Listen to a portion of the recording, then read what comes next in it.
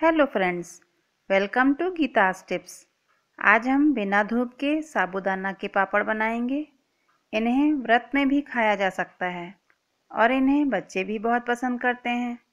तो वीडियो देखने से पहले आप मेरे चैनल को सब्सक्राइब कर लीजिए और हाँ बेल आइकन भी दबा दीजिए ताकि आपको मेरी हर नई आने वाली वीडियो की नोटिफिकेशन मिले सबसे पहले। साबूदाना पापड़ बनाने के लिए हमने अच्छा गोल दाने का आधा किलो साबुदाना लिया है।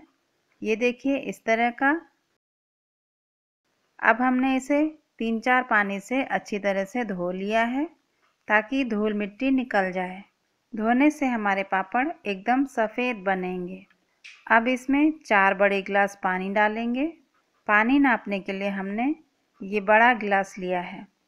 एक, दो तीन, चार। अब इसे गैस पर गरम करेंगे। पानी गरम हो गया है, गैस बंद कर देंगे और इसे दो घंटे के लिए ढककर रख देंगे।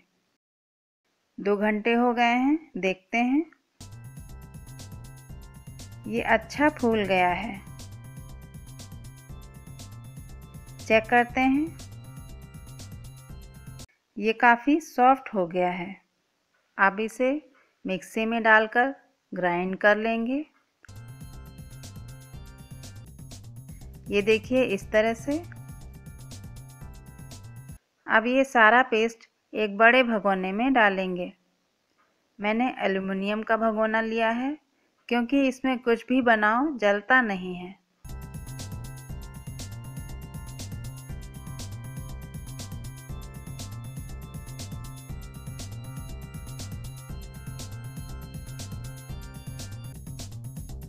अब इसमें थोड़ा थोड़ा करके पाँच ग्लास पानी डालेंगे।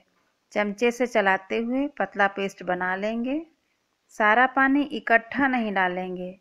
इकट्ठा पानी डालने से गुठलियाँ रह जाएँगी।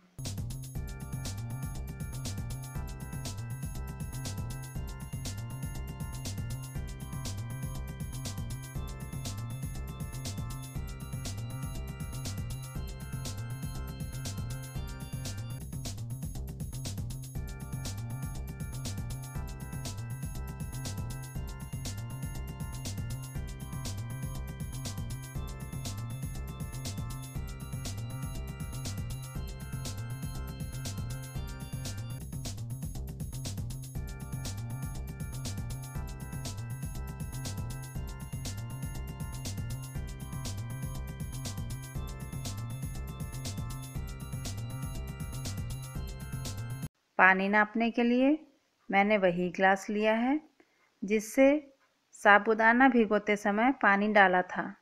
ये देखिए, हमें इसका इतना पतला पेस्ट तैयार करना है। अब इसमें वन टेबल स्पून नमक डालेंगे। अगर आप चाहते हैं कि व्रत में भी इसे खा सकें तो आप इसमें फलाहारी नमक डाल लीजिए। नमक मैंने कम ही डाला है, क्योंकि पापड़ सूखने के बाद इसमें नमक तेज हो जाता है। अब इसे पकाएँगे। इसे लगातार चलाते हुए पकाएँगे ताकि इसमें गुठलियाँ ना पड़ें।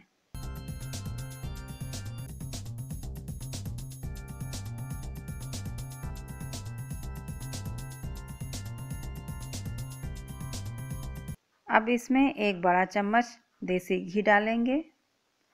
आप रिफाइन का यूज़ भी कर सकते हैं।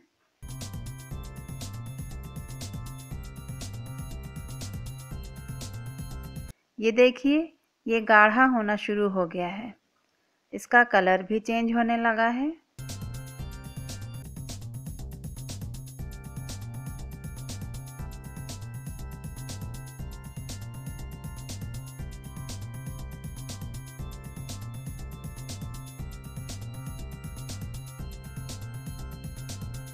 ये देखिए, इसमें बिल्कुल शीशे के जैसी चमक आ गई है। ये पक गया है, गैस बंद कर देते हैं।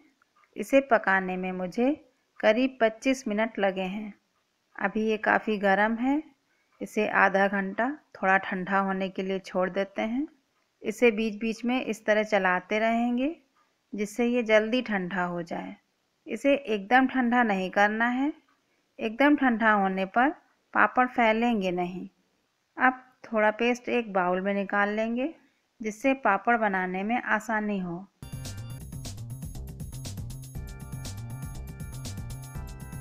अब एक प्लास्टिक शीट पर इस तरह थोड़ा थोड़ा पेस्ट गिराएँगे। प्लास्टिक से पापड़ निकालने में आसानी होती है।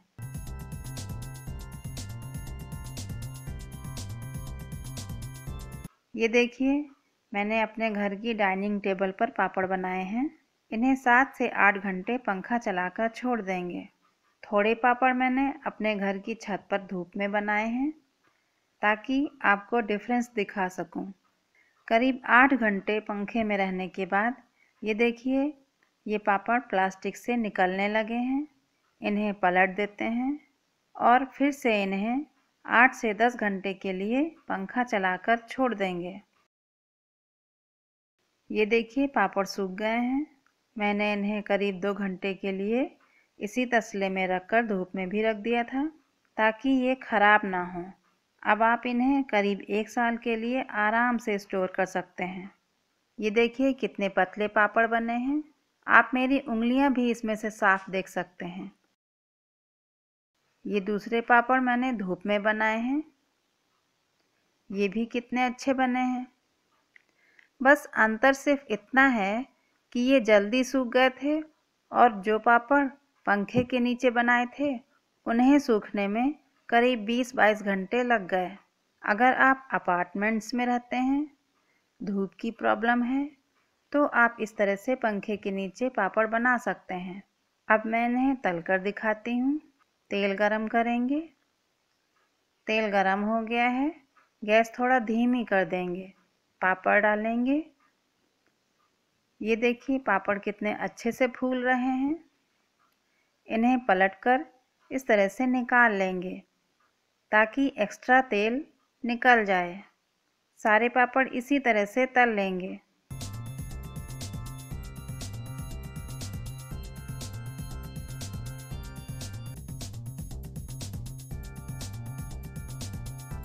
ये देखिए कितने क्रिस्पी पापड़ बने हैं।